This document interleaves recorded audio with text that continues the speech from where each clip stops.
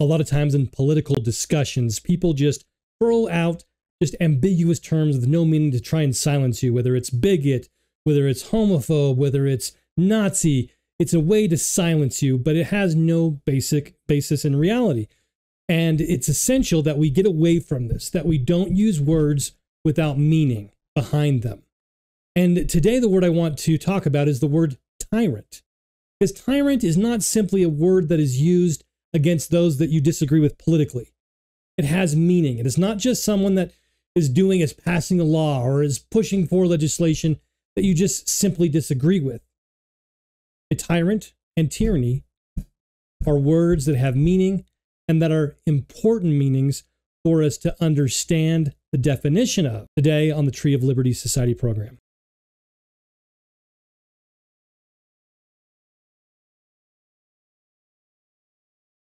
So, if a tyrant is not this ambiguous term for anyone that simply does something that you disagree with in government, what does it mean? Because the definitions in modern dictionaries leave a lot, uh, a lot to want for, a lot to desire to really understand what a concretely what a tyrant is. When the founding fathers called King George a tyrant, it wasn't simply an ambiguous term to throw at somebody that they just didn't like. There was a specific meaning behind calling King George a tyrant. And in the book that, that is very unknown today, but is a book that was something that was well known by the founding fathers and in the founding generation, and used the scriptural definition of a tyrant, is the book Killing No Murder, which the Tree of Liberty Society now publishes.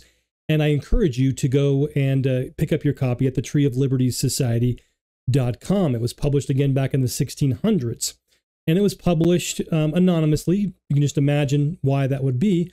But in that book, it uses the scriptures and defines the word tyranny in unmistakable, non equivocal terms what a tyrant is. So let's go through that. It, it, defines a tyrant in two different ways. There are two different kinds of tyrants. One kind of tyrant is a tyrant that rules uh, tyrannically, and another one is one that is uh, an illegitimate ruler. They rule illegitimately. And so I'd like to go through both of those definitions. And these are definitions, and so then you can apply these definitions. You can apply the word uh, tyrant uh, appropriately and accurately. And when you call somebody a tyrant, it will mean something, and people will know what you mean, especially if you are sharing this video and helping people understand the real definition of a tyrant. So let's go to the first definition of a tyrant. That is one that is one that has um, no right to govern. In the book, Killing No Murder, the author states By the laws of God and nature, the care, defense, and support of the family lies upon every man whose it is.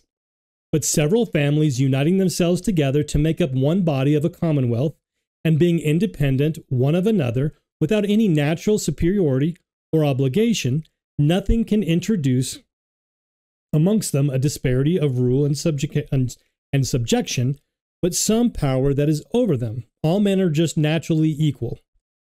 Which power none can pretend to have but God and themselves.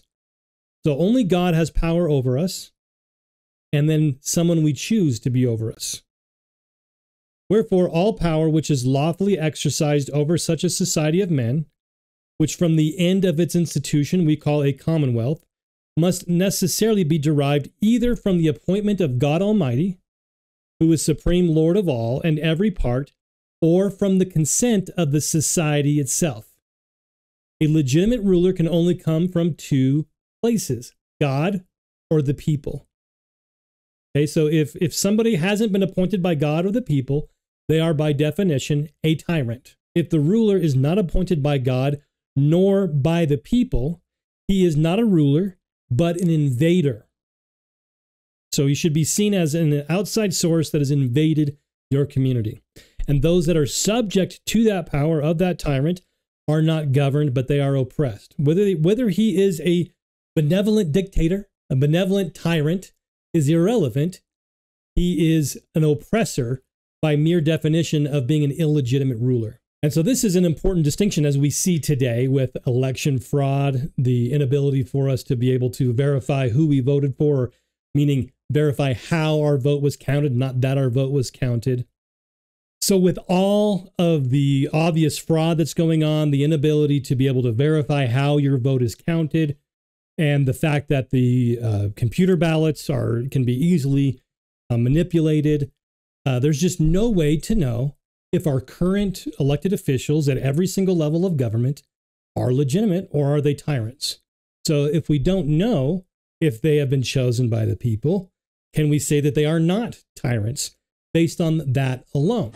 Let's just take a quick break for a second. And if you like what we're doing here, the Tree of Liberty Society, you can support this channel. You can support our efforts by first going to the Tree of Liberty Society.com and becoming a member today. We have different levels of membership where you're supporting what we're doing all the way to being having a business write-off because you're advertising through the Tree of Liberty Society. And then also you can take advantage of our weekly meetings where no matter where you are in the entire world. We have people from all over the world Japan, Canada, all over the United States coming on and joining live to have a discussion about things that are going on, about solutions, and about things that you don't hear about elsewhere.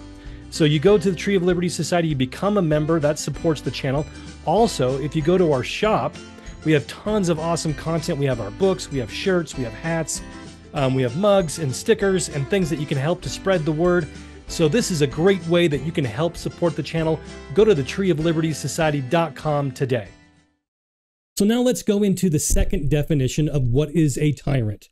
Is one that governs tyrannically. And so what is what is governing tyrannically? There are different things that a leader will do to make themselves appear to be legitimate to the people. There are different uh, talking points and buzzwords that will be used uh, by a tyrant they make the people give, you know, feel like they're legitimate and that they're a friend to the people. And some of those things are things like they they pretend to defend liberty. They use the military. They they use speeches where they'll talk about, you know, today they talk about the Constitution of the founding fathers or, you know, a lot of different warm and fuzzies and, and how they just support the troops, that kind of a thing. Uh, another thing that a tyrant will will rule tyrannically by is by uh, rule by fraud more than by force. So they don't need to come uh, at you with their jackbooted thugs. They can rule over you tyrannically through fraud. So, with cunning, plausible pretenses to impose upon men's understandings, and in the end, they mastered those that had so little wit as to re- rely upon their faith and integrity. And so they lie to you to get you to obey them. So, and, and a lie doesn't have to be just a straight out typical lie, but a deception, a, a way to get you to do something that you wouldn't do without that deception. Another thing that a tyrant will do to rule tyrannically is to fill the ranks slowly of the government and the military, get rid of, getting rid of moral individuals, and then replace them with those that will go along with the program. And if we're dealing with a multi generational conspiracy, it's not just individuals that will obey their current leader, but people that will obey the status quo, that will obey this diabolic and satanic conspiracy. The next thing that a tyrant will do to govern tyrannically is that they impoverish the people to make it more difficult to oppose them with taxes, inflation, excise taxes, etc make it too expensive that they have to spend all of their time working to provide for themselves and their families where they no longer have time to oppose the tyrant. So just so again, all of these, you don't have to do all of these to be a tyrant. If you've done any of these things, you are a tyrant. So do we have inflation? Do we have high taxes? Is it uh, very much burdensome upon us to be able to even uh, fight back against tyrannical measures by the government because we are spending all of our uh, time being able to provide for our families because of these taxes and inflation. Another way a tyrant acts or could act would be to make war to distract the people, to make the people busy, to get their money and to get new taxes. Because if you don't support this war, that means you support the enemy. If you don't support the war on terror, you support the terrorist. Whatever the whatever the war is, the the the, the trumped up war, and this is why it's important why the founding fathers said that they didn't want a standing army, not just a national army, but your local army, was because it is used to be able to, uh, by, it is used by a tyrant. And of course, another thing that a tyrant does not want the people to do is to gather together in groups. They will do things culturally, they will do things uh, legislatively, they will pass down edicts to make sure that uh, people do not get together and uh, build relationships. Now, can you think of a time in recent history when the government said that you should not meet together in large groups of individuals? Now, not only that, but have they changed the culture where now, today, maybe you don't know your neighbors, even your direct neighbors, let alone your whole neighborhood? Whereas 30, 40 years ago, block parties were very common. Everybody on the street knew each other. They met together. They had uh, people would come over for snacks in the evening. It was something much more common than we see today, where today we are isolated. We do not, uh, you know, we're, we do not meet together as groups like we once did. Be sitting there on a Thursday night watching TV. Your doorbell rang, the whole family shot off the couch. Oh my God! Put the lights on, somebody's here. We got people. I, the whole family went to the door. The kids were in socks, they slid up to the door.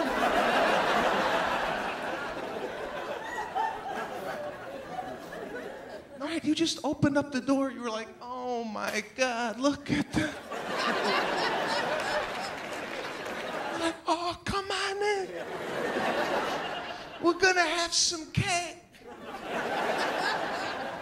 Your mother had a little Entenmann's. Maybe some Sara Lee crumble cake. Just in case company came over. She made an announcement when she bought it. She's like, listen, nobody touched this cake. This is for company only. Those crap muffins, those are for you people. You better hope to God somebody comes over so we could cut the cake. Nobody had a cell phone back then. If your, cell, if your, if your, if your house phone did ring, your father stood up and said, Nobody get that phone. We got company and you lost track of time. Two hours went by. You were like, we got to get out of here. That's okay. Next time we're going to come by you. Be like, yeah, my door's always open. now your doorbell rings? it's like, what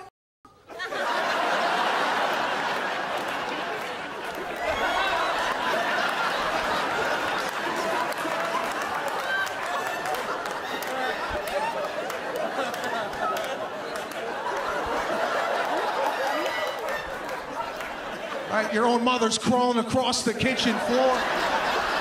Get down, my army crawl. Army crawl, get in the closet. Go get the sword in the living room. Somebody get the sword underneath the couch in the living room. There's a sword.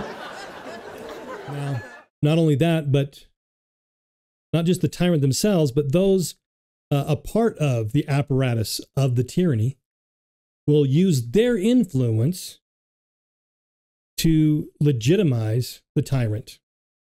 They will make the people that believe that the government is good, or perhaps that even the government has been chosen by God. Religion can be a powerful font of legitimacy and practical assistance in a time of crisis. Misinformation is a major obstacle in a health crisis. Faith communities can debunk rumors, calm fears, and facilitate accurate information. Another thing a tyrant will do is that they will get a disposable person to do their dirty work for them. That way, it's just a, it's not a criminal act, it's a, it's a scandal. Now that there was a scandal, aka a criminal act, they can just get rid of this guy that, that was sent to do the job, and now they are protected because they took care of the problem. And they're scot free, and, and nothing happens because it was just a, a, simply a scandal and they were able to get rid of the disposable person that did their dirty work for them.